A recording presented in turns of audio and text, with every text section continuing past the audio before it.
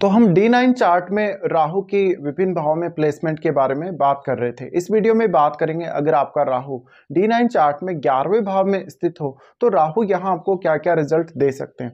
ग्यारहवें भाव में राहु है तो आप मैरिज होने के पश्चात आर्थिक प्रगति बहुत ही ज़्यादा करेंगे अपने जीवन में।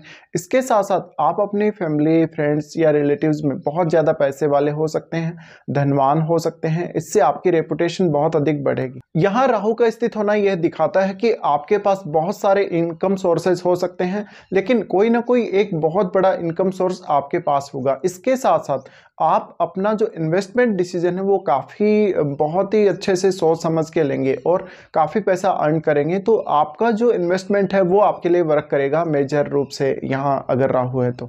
इसके साथ साथ ये जातक ऐसे होते हैं जो हमेशा अपने पार्टनर को बहुत अधिक पसंद भी करते हैं और उनसे बहुत ज़्यादा लगाव रखते हैं। तो एक बहुत ही खुशहाल जीवन जीने की आपकी संभावना बनती है जब भी इनवामसा के ग्यारहवें भाव में राहु हो। लेकिन ऐसा राहु आपको बहुत सारे इनकम सोर्सेज देता है इवन तक विदेश से भी बहुत ज़्यादा पैसा अर्न कर सकता है, वो डिजिटली किसी भी इस प्रकार का काम करे या वो कोई ऐसा काम करे जिससे वो कोई बिज़नेस टाइप का काम कर सकता है, कोई भी ऐसा बिज़नेस कर सकता है जिसमें ज़्यादा से ज़्यादा क्लाइंट्स हों उसके पास और उसकी अपने बिज़नेस की वजह से भी पॉपुलरिटी हो सकती है। राहु का ग्यारहवें भाव में स्थित होना कभी कभी आपके लिए विश्वासघात का कारण बन जाएगा और जो आपका जीवन साथी है वो आपको कभी भी धोखा नहीं देगा, हालाँकि लेकिन आपको आपके जो बहुत क्लोज लोग हैं, आपके जो फ्रेंड्स लोग हैं या आपके जो रिलेटिव्स हैं वही कभी कभी आपको धोखा दे सकते हैं। तो यहाँ पर सबसे ज़्यादा प्रॉब्लम अगर आपको आएगी तो आप जिनके ऊपर सबसे ज़्यादा ट्रस्ट कर रहे हैं या जो आपके सबसे ज़्यादा आत्मिक रूप से क्लोज हैं, उनके साथ ही आएगी। इसके साथ साथ राहु यहाँ स्थित है तो आपको काफ़ी ज़्यादा ऑप्शन देता है धन कमाने के लिए और अपनी इच्छाओं को या अपनी मनोकामनाओं को पूरा करने के लिए।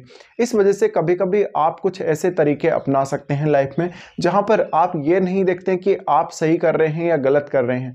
आपका सबसे मुख्य जो फोकस रहता है वो ज़्यादा से ज़्यादा अर्न करने पर होता है और पॉपुलरिटी और नेम फेम के भी आपके लिए काफ़ी अच्छी संभावना बन जाती है।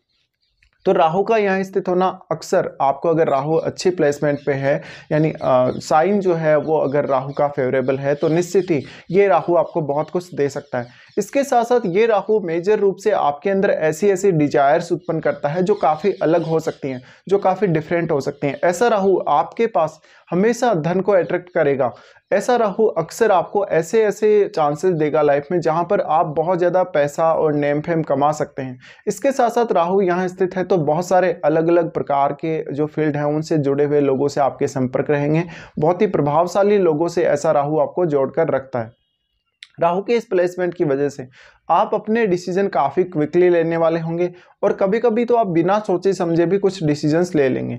यहाँ राहु का स्थित होना आपको आपके भाइयों से काफ़ी अच्छा सपोर्ट दिला सकता है और लेकिन आप अपने भाइयों में सबसे ज़्यादा धनवान हो सकते हैं या सबसे ज़्यादा पैसा अर्न करने वाले हो सकते हैं। तो मेजर रूप से अगर देखा जाए राहु की इस प्लेसमेंट को तो ये आपके जीवन में काफ़ी ज़्यादा खुशहाली लेकर आता है, बहुत ज़्यादा भोग विलास और वो सब चीज़ें लेकर आता है। इसके साथ साथ ये हमेशा रिश्तों में टाइम स्पेंड करने के लिए लिए मौका देता है और ज़्यादातर आप अपने फ्रेंड्स के साथ या अपने पार्टनर के साथ अधिक से अधिक समय बिता सकते हैं। लेकिन यहाँ राहु की प्लेसमेंट अच्छा होना बहुत ही ज़्यादा ज़रूरी हो जाएगा आपके लिए।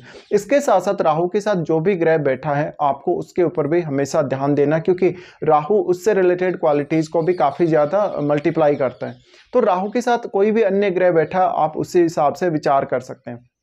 अब राहु का प्लेसमेंट यहाँ कौन से साइन में है, कौन सी राशि में है, ये देखना बहुत ज़्यादा अहम है। और क्या वास्तव में आपको राहु की महादशा भी चल रही है शादी होने के पश्चात? ये भी देखना आपको बहुत इंपॉर्टेंट है। क्योंकि यहाँ स्थित राहु आपके पास इतने सारे आइडियाज़ कलेक्ट करता है, आपको इतने सारे आइडियाज़ दे देता है, जिससे आपको कभी कभी ये भी कंफ्यूजन हो सकता है कि आप कौन से आइडिया पे प्रॉपरली वर्क कर सकते हैं। तो यहाँ आप कभी भी अगर कंफ्यूजन में रहते हैं तो ये आपके लिए एक बड़ी समस्या बन सकता है। और आप जल्दी से किसी पर भी ट्रस्ट ना करें। इसके साथ साथ आपको पार्टनरशिप में हमेशा नुकसान हो सकता है, धोखा हो सकता है, लेकिन आपके पास जैसे लॉटरी वगैरह, सट्टा वगैरह या शेयर मार्केट वगैरह से काफ़ी ज़्यादा पैसा ऐसा राहु देता है। तो इन सब मामलों में आपको फोकस करके चलना चाहिए जब भी आपका नवामसा चार्ट में राहु ग्यारहवें भाव में स्थित हो।